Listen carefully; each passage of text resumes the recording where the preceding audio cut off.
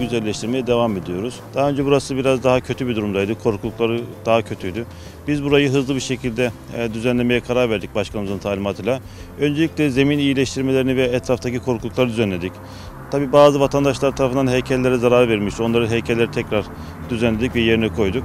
Elbette ki bu Taşbaşı Ordu'nun en güzel yerlerinden bir tanesi ve en eski mahallelerinden bir tanesi.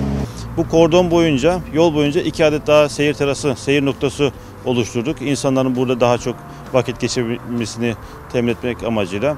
Bu anlamda Ordu'nun güzel noktalarını insanların da daha rahat seyredebilmeleri için bu şekilde küçük dokunuşlarla Ordu'nun tarihi ve turistik özelliklerini öne çıkarmak için elimizden gelen bütün gayreti gösteriyoruz.